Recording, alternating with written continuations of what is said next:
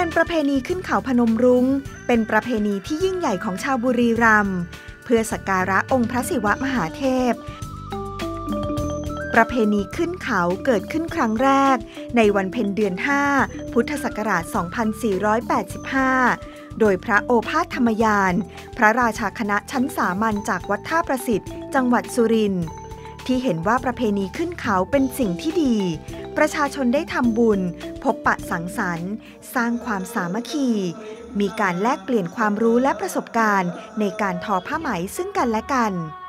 ด้วยชาวบ้านจะแต่งกายด้วยผ้าไหมลวดลายสวยงาม ที่ทอด้วยตนเอง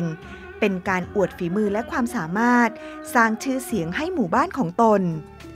ประเพณีขึ้นเขาพนมรุง้ง จึงเป็นการอนุรักษ์ประเพณีวัฒนธรรมท้องถิ่น